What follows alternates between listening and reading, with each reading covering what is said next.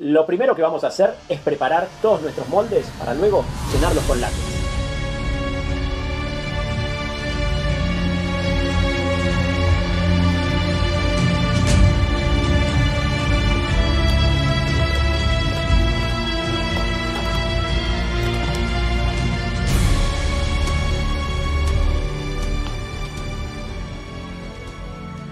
Luego voy a ir dando los detalles característicos en cada uno de ellos.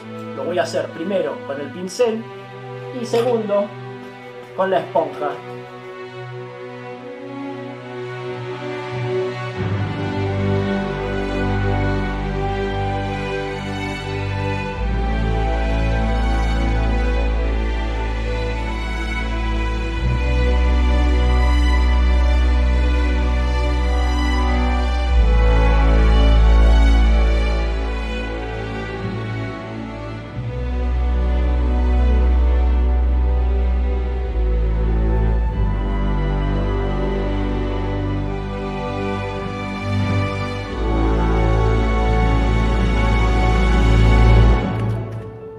Te gustó el video, comentalo, compartilo y likealo. Hasta la próxima.